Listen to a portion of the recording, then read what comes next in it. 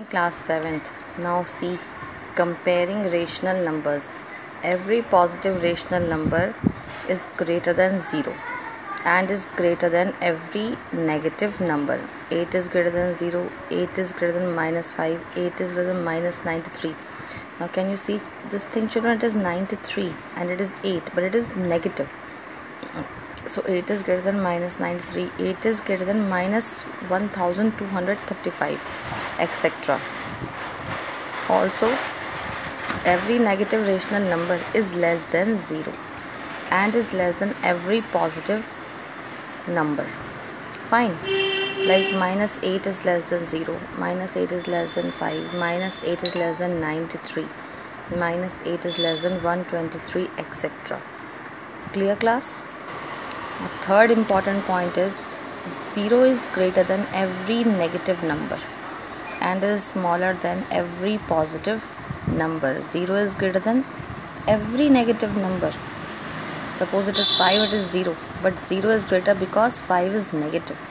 So 0 is greater than minus 5 0 is greater than minus 3 upon 20 and 0 is less than 5 and 0 is less than 3 upon 20 this is positive this is positive. So 0 is smaller than every positive number and is greater than every negative number now example number 3 compare. 5 upon 7 and minus 3 upon 5 5 upon 7 is a positive rational number and minus 3 upon 5 is a negative rational number.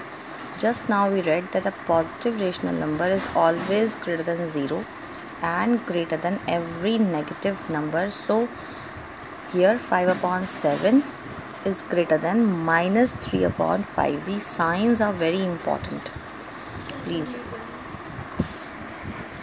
Now comes example number 4 compare 3 upon 5 and 5 upon 7 now here it is also positive and this is also positive. This was not a this was not difficult because it was positive and it was negative so it was very clear. Now here first method is this that we take the LCM of 5 and 7 it has come 35 now make denominator of each rational number equal to LCM obtained that is equal to 35 how you are going to make that? 5 7s are 35 and same number you will multiply in the numerator also. So 3 7s are 21 5 7s are 35 next is 5 upon 7 now 7 5s 35 and 5 5s are 25 upon 35 now for the same denominator, the rational number with greater numerator is greater. Now the denominator is same. So the rational number which is having greater numerator is that is greater. Therefore 25 upon 35 is greater than 21 upon 35. Therefore 25 upon 35 has come from 5 upon 7. So 5 upon 7 is greater than 3 upon 5 and now second method is there children cross multiply a upon b and c upon d so we'll get a into d and b into c now if a into d is greater than b into c therefore a upon b is greater than c upon d. And if a upon d is less than b into c therefore a upon b is less than c into d.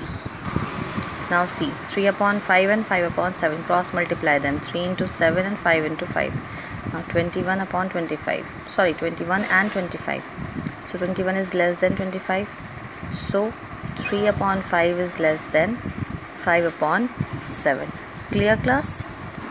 Now further we will do in our next video. Thank you